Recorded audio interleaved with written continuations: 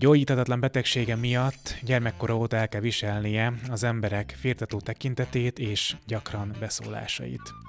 Mai vendégem Pupák Réka, akinek a története azt hiszem sokunk számára szemfelnyitó, és átértékelteti velünk a hétköznapi problémáinkat.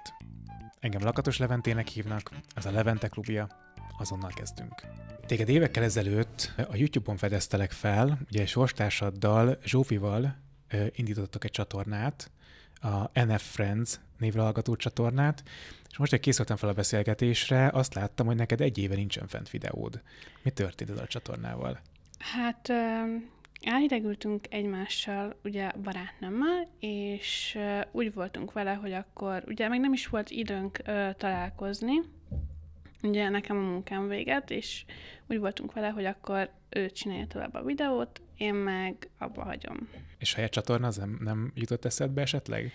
De, de még gondolkozok rajta, hogy mikor, hogyan csináljam. Egyébként szerintem a ti jelenlétetek a, a social media térben az nagyban segítette ahhoz, hogy az emberek egyáltalán eljusson, hogy mi ez a betegség, amivel ti küzdöttök. Ugye a, neki a kezén jelentek meg főleg ezek a, a csomók, neked az arcodon, ami valamilyen látványosabb ö, dolog. Mi is ez a betegség, amivel ti küzdötök? Ez a neurofibromatózis. Ez egy hát jó indulatú daganat, és azt kell tudni róla, hogy ugye az ilyen idegszálakon és az agyi idegekben jelenik meg.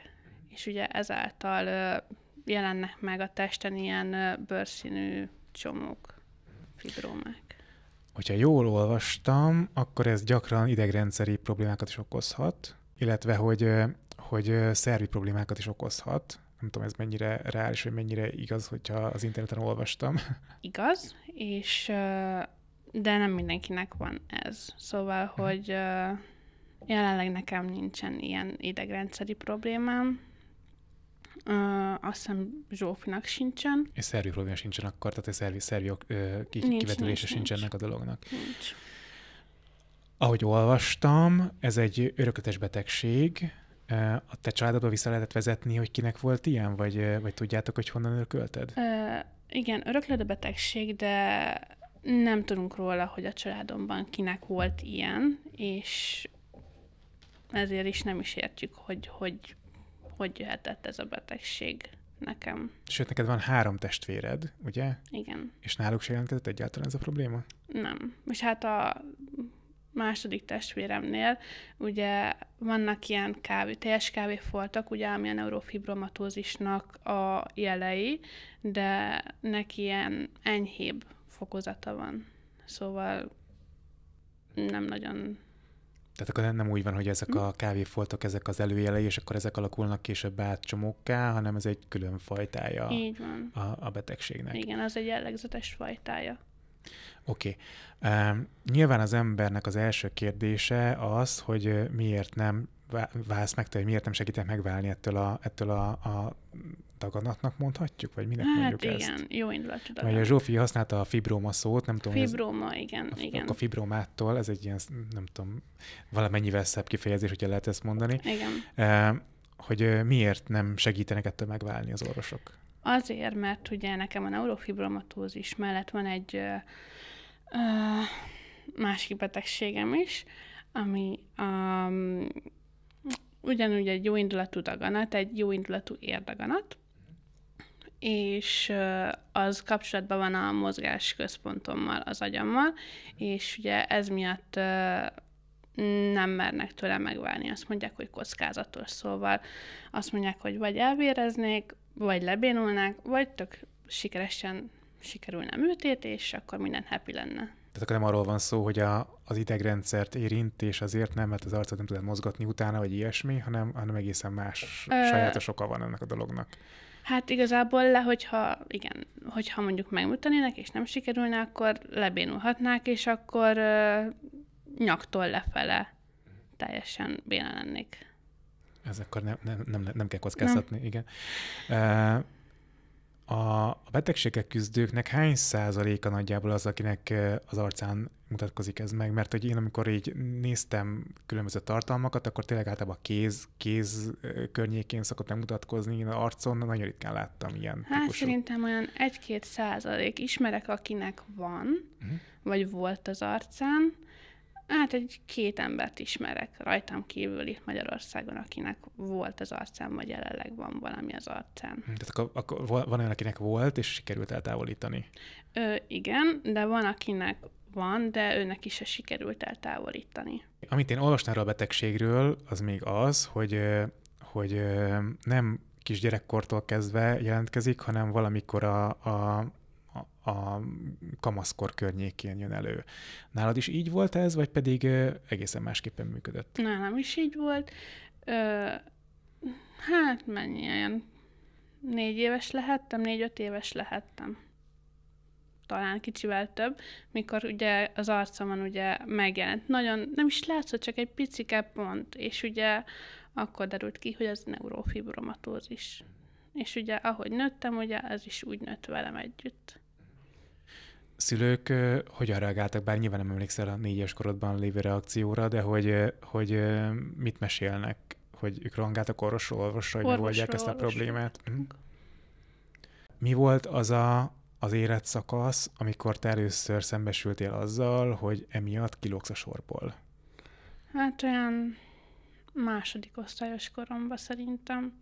Már ott éreztem azt, hogy nem fogadnak úgy el az osztálytársaim úgy, ahogy, nem játszanak velem, nem nagyon ültek mellém, szóval kiközösítettek, és ugye ahogy mentem ugye tovább, ugye folyamatosan látszott a többieken az, hogy, hogy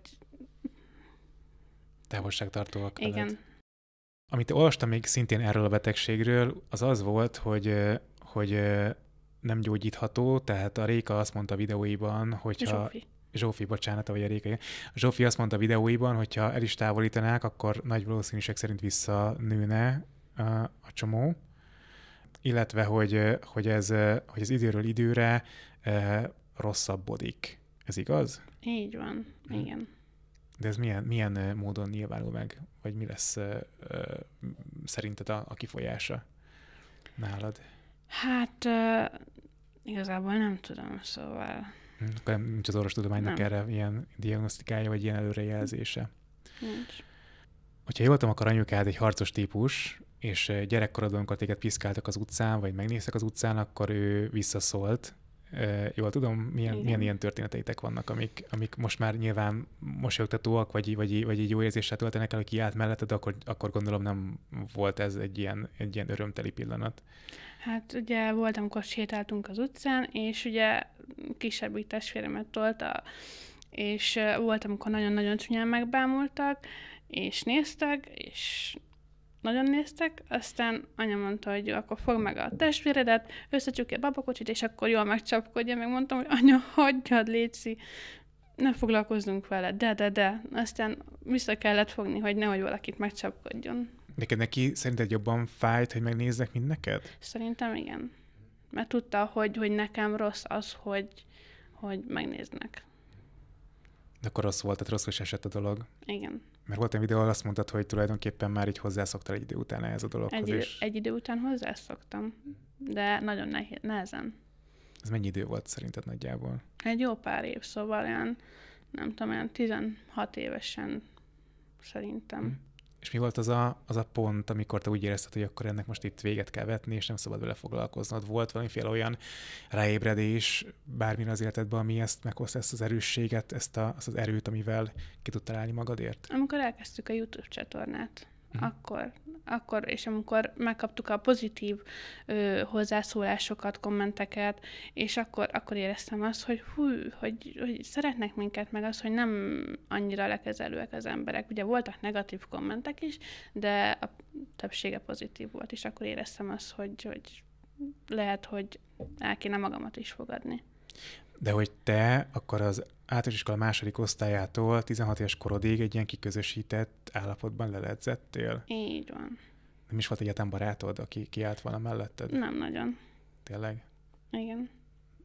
Ez nagyon, nagyon kemény. Azt gondolom egyébként, hogy, hogy azért vannak olyan gyerekek, vagy olyan, olyan, olyan iskolatársak, akik pont azért állnak az ember mellé, mert hogy, mert hogy, mert hogy fáj nekik, hogy a másikat bántják, és hogy próbálnak mellette lenni, akkor ezek nem volt ilyen melletted. Hát igazából ugye a negyedik osztályban elköltöztünk, ugye, és akkor ugye, nyilván iskolát váltottam, és ott is volt egy lány, de ott igazából nem is tudom, hogy miért közösítették ki, csak úgy kiközösítették. Uh-huh. És ugye ő állt mellém, de nyilván ez max. 8. osztályig tartott, és utána külön váltak az útjaink, és ennyi volt. Szóval ő se tudott úgy nagyon mellém állni, csak annyit mondott, hogy ne foglalkozzak vele.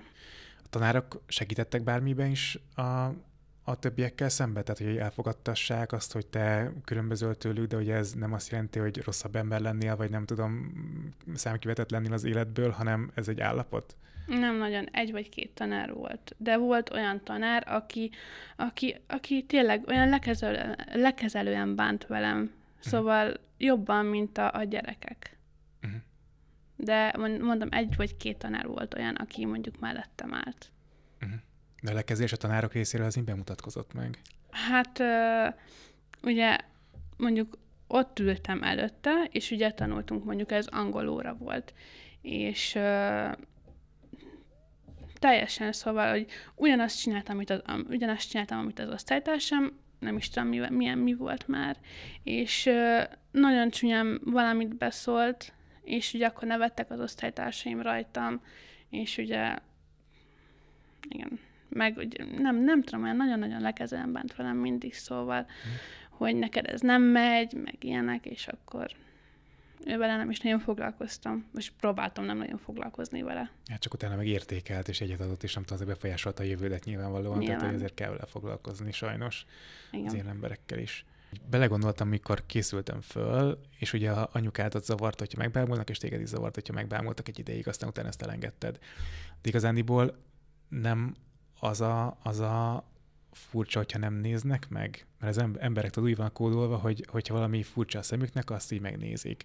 És ha nem néznek meg, akkor az, az olyan, mintha így, így rácsakarának nézni. Nem? Tehát, hogy, hogy, hogy egy kicsit ilyen hatása van. De, de hogyha mondjuk valamit megnézek, vagy valakit, akkor mégsem úgy nézem, hogy így, mert minden szóval az, hogy megállok, aztán még jót nevetek rajta. Én, hmm. hogy ilyen szinten Persze, volt, volt olyan, aki, aki kiröhögött, meg amikor így ültek, ültek a metron és néztek.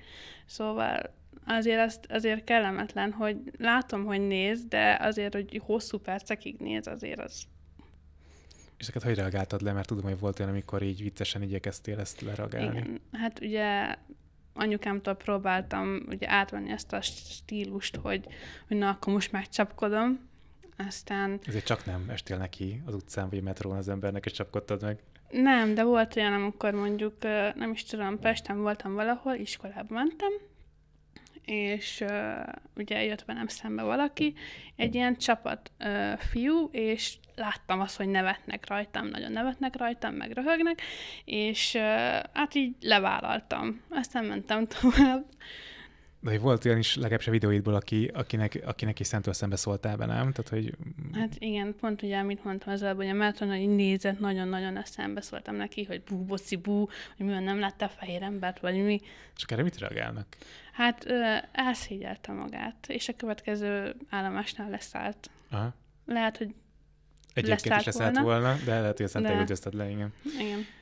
De az jó, hogy kiállsz magadért tényleg, és nem az van, hogy akkor, akkor ezek, ezek nagyon mélyen beléd marnak, ezek a történetek. Igen. Mivel foglalkozol? Hát most jelenleg egy fűszerkertészetben vagyok, és ott foglalkozok a növényekkel. De volt időszak, amikor idős otthonban dolgoztál, ugye? Igen ott mennyire fogadtak el az emberek, vagy mennyire, mennyire tartottak furcsának, vagy ez a generáció sokkal elfogadóbb volt, mint a fiatalabbak? Sokkal mondjuk. elfogadóbb volt, és úgy éreztem, hogy nagyon-nagyon szeretnek. Szóval ki, ki is mutatták azt, hogy nagyon-nagyon szeretnek. Miben, Mind... miben mutatták ki?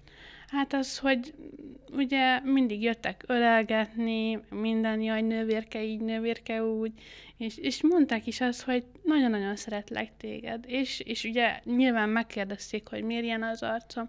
Elmagyaráztam nekik, és azt mondták, hogy semmi gond, nem kell odafigyelni, amit az emberek mondanak. És most a fűszerkertészet az miért jött, vagy miért, miért váltott el?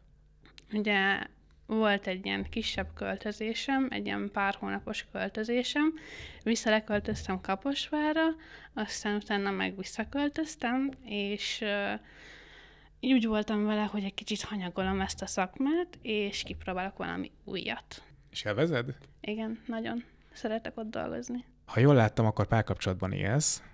Ráadásul elég régóta, hogyha jól néztem, mert a, a legelső Instagram kép, amink közösen vagytok, az azt hiszem hat éves. Tehát ré, ré, régen, régen vagytok együtt. Mesélsz róla, a kapcsolatodról, hogy hogy ismerkedtetek meg, mik a terveitek? Persze, ugye már nyolc éve vagyunk együtt. Nyolc éve.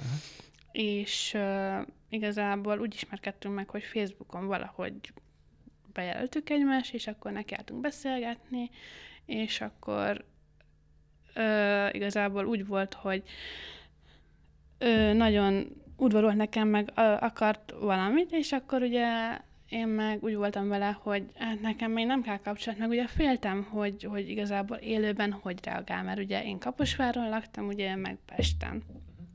És féltem, ugye, féltem attól, hogy hogyan reagál, és ugye mindig toltam el magamtól a, a dolgokat, hogy elég nekünk csak a barátság, mi barátok De hogy, hogy talált rá? Tehát hiszen a YouTube az később indult el például, nem? Tehát hogy hogyan akad beléd? Hát én sem, Vala, valahogy valamilyen csoportba. Ja, értem.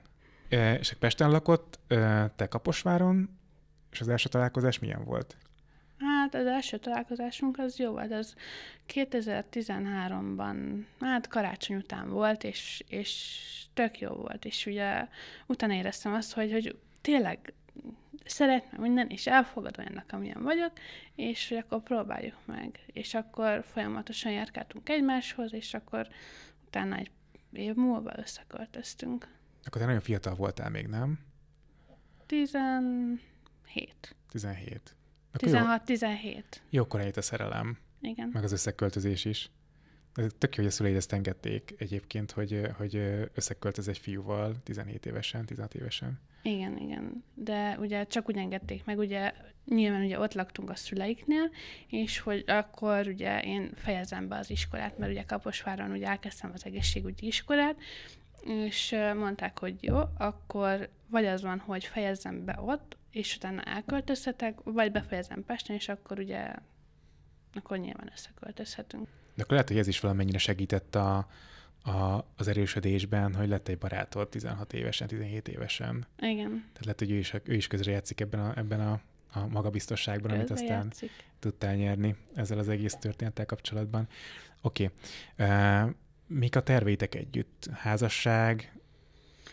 Uh, nyilván az is majd ugye kilátásban van valamikor, remélem előbb, nem tudom. Üz- üzenjük, hogy akkor egy lánykérés most már kijárna nyolc év után. Igen, és hát szeretnénk majd lassan elköltözni, és ugye egy saját lakásba.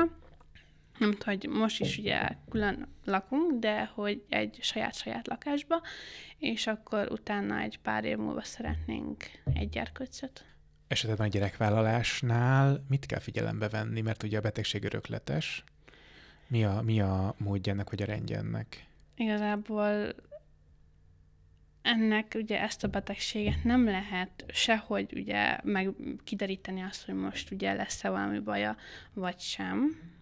És ugye pont ez a bajom, hogy ugye ettől félek, hogy mi van akkor, hogyha mondjuk ő neki, ő örökli, és lehet, hogy rosszabb lesz neki. Szóval ugye mindig ez szokott visszafogni engem, hogy mi van akkor, hogyha tényleg ő, ő sokkal rosszabbul jár, mint én. De tulajdonképpen, hogyha te ezt már átélted, akkor valójában nem kell félni, félned attól, hogy a gyermekednek nem tud segíteni, hogy esetleg ő is ezzel születik. Igen, nyilván, csak nyilván bántani fog, meg fájni fog az, hogy tudtam azt, hogy, hogy ő neki előfordulhat ez, és nem tudom, szóval, hogy... Zavarna, vagy nem zavarna, hogyha mondjuk így születne a gyermeke? Nem zavarna, csak fájna az, hogy tudom, hogy neki rossz mert nyilván ugye rossz lenne neki is, mert ugye őnek is át kéne élnie ezeket a dolgokat. Mhm. Hát csak tudnál segíteni neki. Igen. A, a dolgokban, legalábbis biztos, hogy többet, mint hogyha mondjuk egy teljesen egészséges szülőnek a gyermekeként születik valaki, valaki így. Ez igaz. Mik az álmaid, mik a terveid? Mert azt tudom egyébként a videókból, hogy te e, kezdetben boncmesternek szerettél volna menni. Ez valós? Ez real? Igaz? Igen. És miért nem lettél boncmester? Nem tudom, aztán ugye, hát akartam boncmester lenni, aztán mentőápoló. Nem, mentőápoló az ugye, hát mennyit kell tanulni? Hát még egy jó pár évet tanulnom hmm. kéne, és ugye, ugye a tanulás fog vissza az, hogy ne, hát hogy nem, mert ugye nyilván ahhoz is sokat kell, sok idő kell, meg a boncmesterhez is, szóval nem tudom, de most még, még mindig lennék boncmester. Csak nem mi, mi, mi izgalmas ebben a boncmesterségben? Minden. Tényleg? Mm? És volt egyébként a boncoláson, vagy nem? Soha? Nem, még sose, de érdekel a dolog, hogy milyen. Biztos, biztos izgalmas lehetett, hogy ilyet szerintem el lehet intézni, be tudj menni egy boncolásra valójában. Egyszer volt majdnem az, hogy el tudtunk menni boncolásra, ugye, amikor az egészségügybe dolgoztunk, aztán valami miatt ugye mégse tudtunk elmenni, és tízszer rosszul éreztem magam, hogy nem tudtunk elmenni. Szomorú voltál tőle? Így van. Oké. Okay. És mi a békák iránti vonzódásod? Ezt magyarázza meg nekem. Micsoda? A békák iránti vonzódásodról mesélj már nekem egy kicsit, mert azt tudom a egyik ilyen 5 plusz 5 tény videóból, amit felraktatok, hogy te valahogy a békákat kedveled. De ennek mi az oka, vagy, vagy ennek mi a, mi a megnyilvánulása? Kiskoromban ugye falun laktunk, és ugye egy hatalmas udvarunk volt, és ugye nyilván kiengedtek, játszottam, meg minden, és ugye csomó ilyen békával találkoztam, és volt, amikor zsebre raktam, meg minden, meg őket puszilgattam, és vittem. Zsebre raktad? Az neki nem jó. Annak nem örül, hogyha zsebre rakod a békát. Nem, aztán vittem anyáiknak, hogy nézd, hoztam békát, meg a szomszédnak is átvittem, hogy hoztam neked békát, és igazából így kiskorom óta megmaradt az a, az a békás dolog. Akkor a kedvenced a békás gumicukor, gondolom a Haribótól. okay. Pontosan. Figyelj, elkanyarodtunk a kérdéstől. Mik a terveid, álmaid, vágyaid a jövőre nézve? Tehát, hogy mondjuk így szeretnél a kertészetben maradni, vagy vissza az egészségügybe, oké, okay, boncmester megint lennél, vagy most lennél még mindig boncmester, de az kéne tanulni, szóval, hogy, hogy most mi az, ami a, az elsődleges? Hát az elsődleges, ugye, hát szeretnék maradni a kertészetbe, de ugye tervezünk is ugye költözni.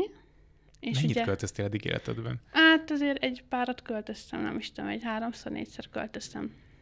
És uh, szeretnénk ugye Pestre költözni, és hogyha meg Pestre költözünk, akkor még nem tudok a kertészetbe járni. Nyilván tudnánk másik kertészetbe járni, de ahol most vagyunk, az, az, az, az más, mert ugye abból csak egy van itt Magyarországon.